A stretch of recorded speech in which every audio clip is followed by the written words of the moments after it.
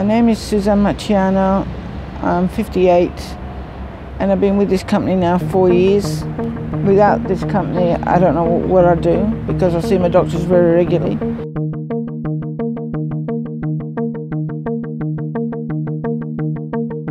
Established in 1999, the Sir Roden and Lady Cutler Foundation assists people in need of transport to meet their medical and health needs. This service aids the elderly and the physically disabled when no one else can help them. This free service ultimately improves and enhances the quality of their life. So who is behind the service that helps when no one else can? My name is Vince Delzio and I'm the um, Chief Executive Officer of the um, Sir Roden Lady Cutler Foundation. Well, my name's Val and a few years ago I retired and I thought um, I might like to do some volunteering so that's why I'm here. I came over to retire, started doing some volunteer work for the charity and now I work for them full time.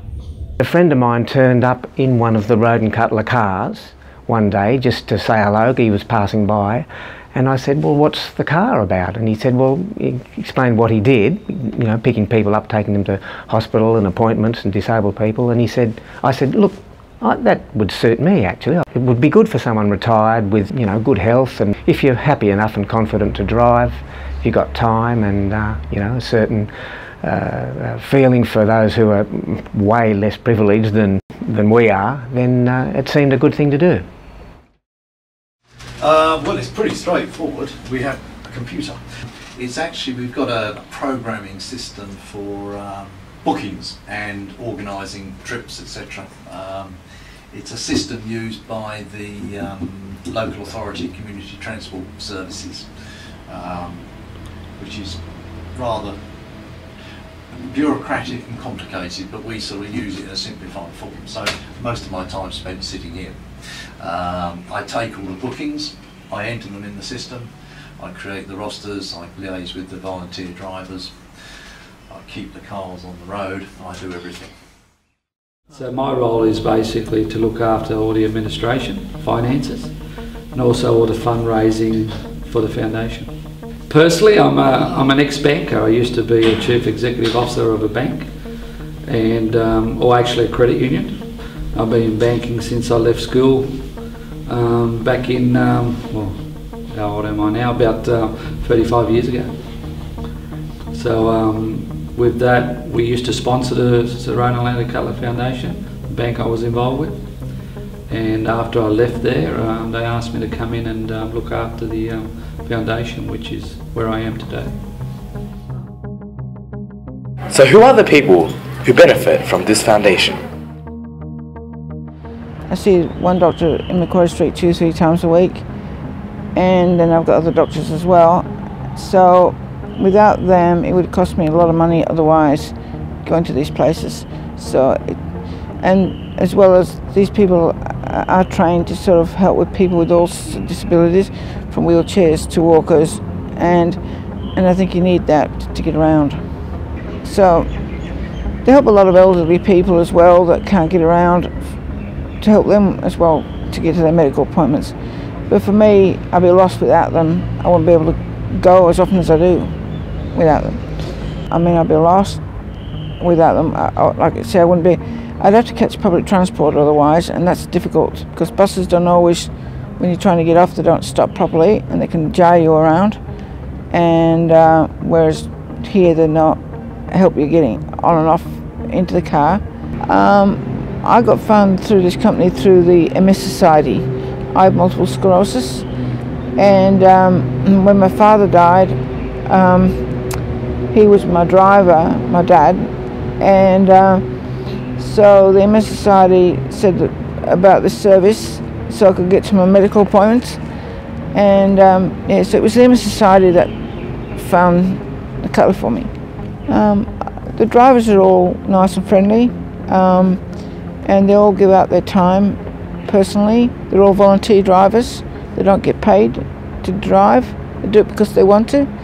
The cars are all donated from companies and whatever.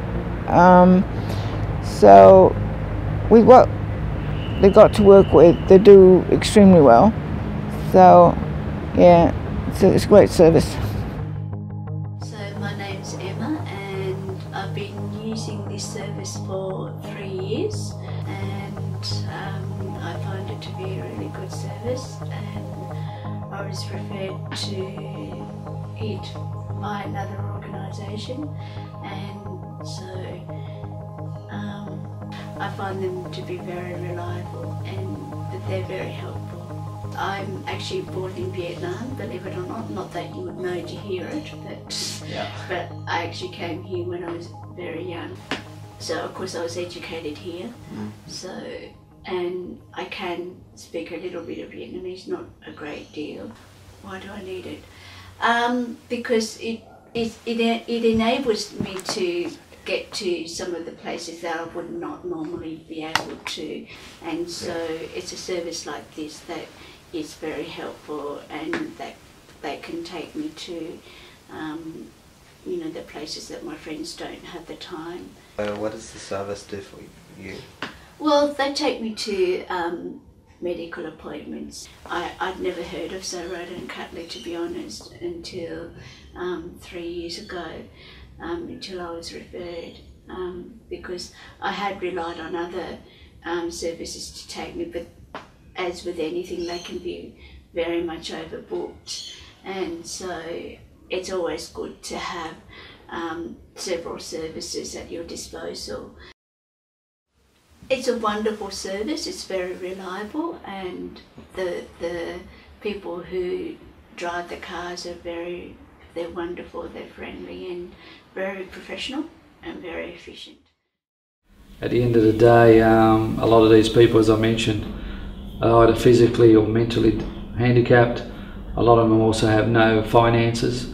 So the fact that we can provide them with this transport that helps them get the necessary medical attention they need gives me a hell of a lot of satisfaction knowing that they are getting better, they are getting the attention.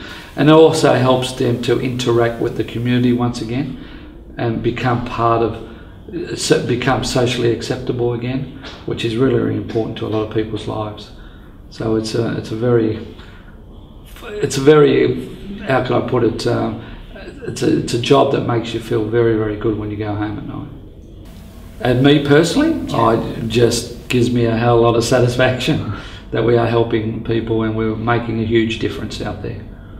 So that's what motivates me to keep going and to make sure we can continue to fund the foundation and help as much as we possibly can.